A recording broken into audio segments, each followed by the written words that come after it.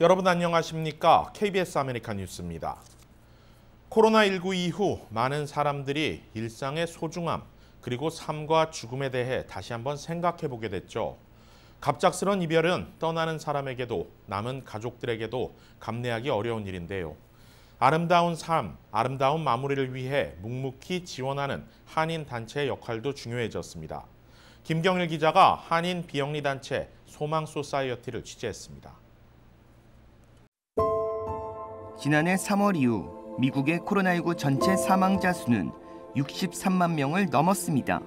이 모두가 전혀 예상하지 못했던 안타까운 죽음입니다.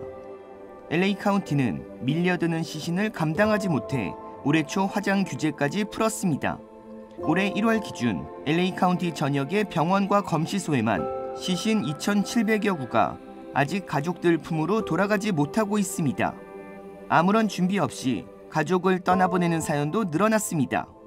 갑작스런 이별은 떠나는 사람에게도 남은 가족들에게도 감내하기 어려운 일입니다. 있을 수가 있습니까? 돌아가셨는데 뵙지도 못하고 어, 환자가 병원에서 의사가 전화해서 지금 어, 환자 상태가 이렇습니다. 이렇습니다. 그리고 장례식도 못하고 1년이 넘도록 그 한 분한 분의 고통과 외로움과 무기력한 이런 일들이 옆에서 볼 때 정말 어, 힘들었고 과연 아름다운 삶의 마무리란 무엇일까? 코로나19 이후 삶과 죽음의 경계에서 많은 사람들이 고민하는 문제입니다. 오렌지 카운티에 있는 한인 비영리 단체 소망 소사이어티는 오랜 기간 사람들이 이 답을 찾는 데 도움을 주고 있습니다. 코로나19 속에서도 1년 넘게 화상으로 또 전화로 갑자기 가족을 잃은 한인들의 어려움을 듣고 또 돕고 있습니다.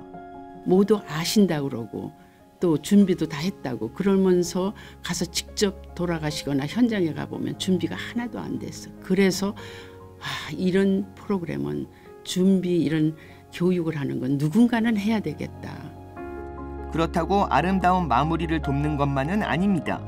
단체는 아름다운 삶을 목표로 한인들의 건강 관리, 치매 환자를 둔 가정을 대상으로 돌봄 교육도 실시하고 있습니다.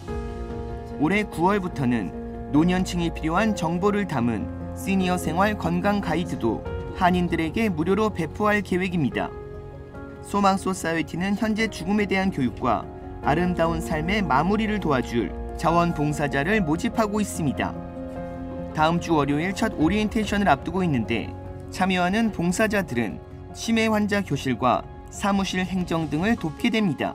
소망케어 교실 같은 경우에는 자원봉사자들이 어, 치매 교육 전문 간병 교육을 다 받으셔요. 그 여유가 있어서 하시는 분들이라고 생각을 하시지만 사실은 이제 직장 다니시면서 하시는 분들도 많으세요. 그다음에 이제 아무래도 은퇴하신 분들이 많으시죠. 소망 소사이티 평생 회원은 271명입니다. 지난해부터 새롭게 500명 모집을 시작했습니다. 갑작스런 죽음에 고통받는 한인들을 돕기 위해 현재까지 60여 명의 한인들이 후원에 나섰습니다. 소망 소사이어티는 누구나 죽음을 맞이하지만 사람들은 죽음에 대해 잘 모르고 있다고 지적합니다. 유언장이 없어 유산 문제가 발생하고 갑작스런 죽음의 장례 문제 등으로 살아있는 가족들이 어려움에 처하곤 합니다. 소망 소사이어티는 갑작스런 죽음에 고통받는 한인들을 돕기 위해 한인 사회의 지속적인 관심을 당부했습니다. KBS 뉴스 김경일입니다. 델타 변이 확산으로 실내 입장 시 백신 접종 증명을 요구하는 업체들이 계속 늘어나고 있는 가운데 대표적인 레스토랑 리뷰 앱인 옐프가 이런 업체들을 확인할 수 있는 기능을 도입했습니다. 소셜미디어 업체 옐프는 어제 공식 블로그와 트위터를 통해 코로나19 백신 접종 증명서를 요구하는 업체들을 찾아볼 수 있는 필터링 기능을 추가했다고 밝혔습니다. 만약 검색업소가 백신 접종 증명을 요구하는 곳이면 업소명 하단에 관련 문구가 삽입됩니다. 또 웹을 통해 들어가 보면 왼쪽 필터링 란에 백신 접종 증명 요구와 모든 직원들의 백신 접종 완료 항목이 새로 추가됐습니다. 클릭하면 관련 항목에 충족되는 업소들만 선별해서 정보가 제공됩니다. 한인타운을 검색해 보면 아직 백신 접종 증명을 요구하는 업소는 없습니다. 하지만 LA시와 카운티 정부가 접종 증명 의무화를 시행할 것이 유력한 상황이라 향후에는 접종 증명을 이행하지 않는 업소들을 선별하는 기능으로도 활용될 것으로 보입니다. 미주 도산 안창호 기념사업회가 리버사이드 시청 앞 도산동상 제막 20주년을 맞아 새롭게 출발합니다. 조직을 재정비하고 향후 차세대들이 도산 정신을 이어받을 수 있도록 하는 다양한 사업 계획을 발표했습니다. 도산 안창호 선생의 동상. 지난 2001년 8월 11일 미주 한인사회의 노력으로 리버사이드 시청 앞에 세워졌습니다. 초기 이민사회가 형성됐던 곳을 기념하기 위해 세워진 도산 동상은 강산의 세월이 두 번 바뀌는 동안 한인사회는 물론 리버사이드시를 대표하는 상징이 됐습니다. 그리고 다음 주 이 도산 동상은 제막 20주년을 맞습니다.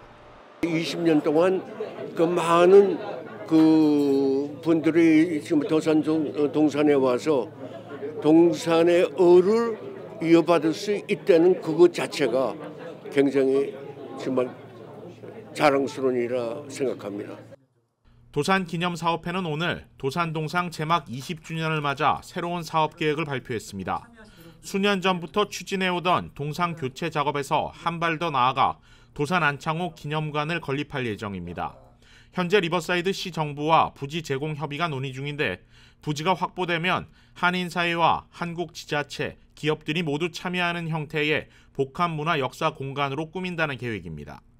또 도산의 삶을 다시 느껴보고 또 체험할 수 있는 그런 체험관을 또 저희들이 구성을 하고 단순히 건물 하나가 아니라 어, 굉장히 넓은 대지에 숙박 시설도 가질 수 있고 문화 시설도 있고 독립 기념 또 저 독립적인 기념관도 이렇게 하는 그런 형태로 지금 저희들이 기획하고 있습니다.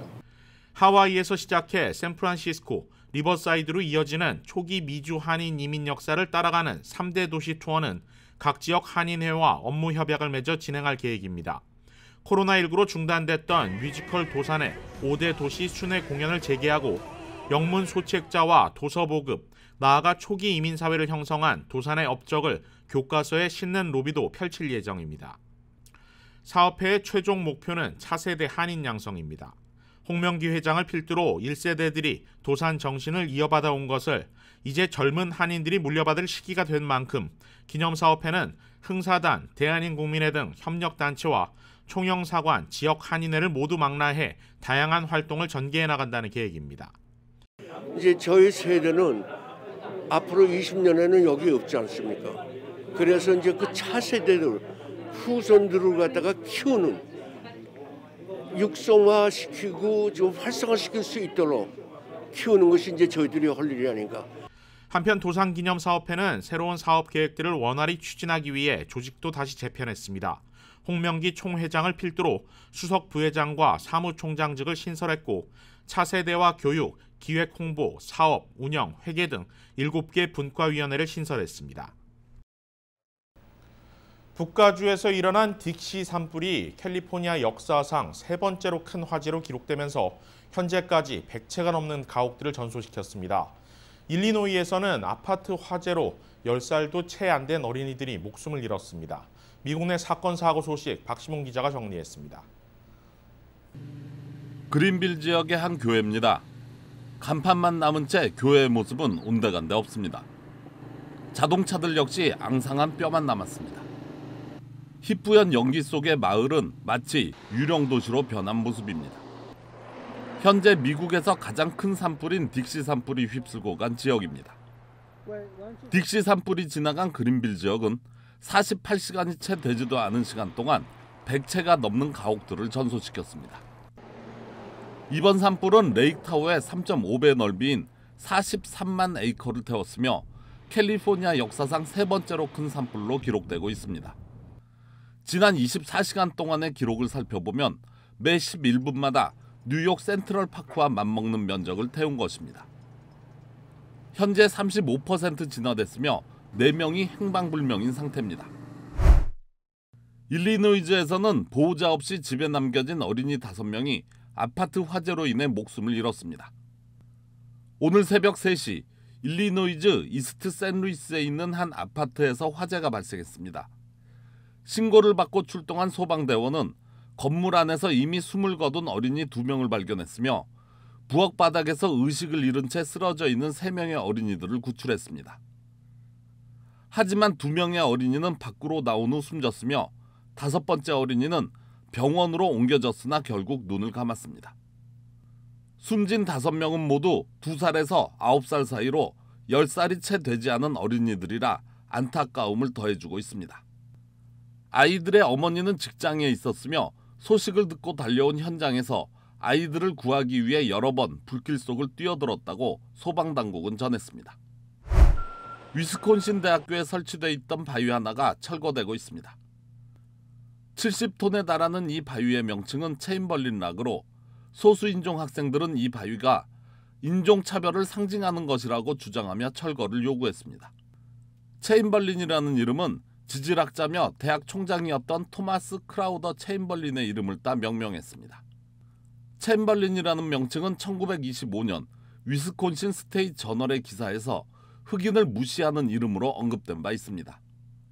이후 소수 인종에 포함된 학생들은 계속해서 이 바위의 철거를 요구했고 결국 지금의 학교 총장이 이를 받아들인 것입니다. KBS 뉴스 박시몬입니다. 제네시스가 중형 SUV GV70를 미국 시장에 출시했습니다. 이유수 기자가 산타모니카와 산타바바라에서 열린 제네시스 GB70의 전국 미디어 시승회를 다녀왔습니다. 산타모니카에서 산타바바라까지 2박 3일간 이어진 제네시스 GV70D 시승회. 서부에서는 LA, 동부에서는 뉴욕을 거점으로 각각 진행했습니다. 각 시승회에는 모터 트렌드와 카엔 드라이버와 같은 자동차 전문 매체 담당 기자들이 대거 참석했습니다. 시승에 참석한 기자들은 한국 프리미엄 자동차 브랜드의 두 번째 SUV 모델 GV70D를 냉정히 평가하는 데 주력했습니다. 앞선 제네시스 모델들이 디자인과 내구성 그리고 성능에 대한 높은 점수를 받은 만큼 신형 모델인 GV70D에 대한 긍정적인 전망도 많았습니다. 하지만 브랜드 인지도가 낮고 역사가 짧은 것은 장기적으로 개선해야 될 단점으로 지적됐습니다. 제네시스의 또 다른 게임 체인저 혹은 판매를 늘려줄 수 있는 그런 또 중요한 모델로 평가받을 수 있을 것 같습니다. 모델이 다양화된다는 것은 그만큼 소비자들의 선택 폭이 늘어난다는 것인데 이는 곧 판매 확장으로 이어질 수 있다는 분석입니다. is going to increase in the second half of the year uh, with the uh, with the introduction of GV70. 제네시스 GV70D는 지난달부터 본격적인 판매에 돌입했습니다. 앞으로 벤츠 GLC, BMW X3, 아우디 Q3와 본격적인 경쟁에 나섭니다. 컴팩트 프리미엄 SUV 시장에서 우위를 점령하기 위해 경쟁 모델보다 스포츠성을 강조했습니다. 스포티한 모델 특성상 중후한 성격의 대형 SUV GV80와는 달리 젊은 층 소비자들을 중심으로 판매될 전망입니다. The target buyer is definitely you know that, that young kind of maybe you know 35 to 45 year old uh, you know uh, family or, or couple. 제네시스 미국 판매 범위는 지난달 5,180대의 차량을 판매했습니다. 지난해 같은 기간 집계된 1,257대에 비해 무려 312.1% 증가한 수치인데 이 같은 성장은 신규 모델 투입에 따른 것으로 분석되고 있습니다. 제네시스는 올해 연말부터 그간 문제로 지적되던 독립 딜러망 구축에 돌입합니다.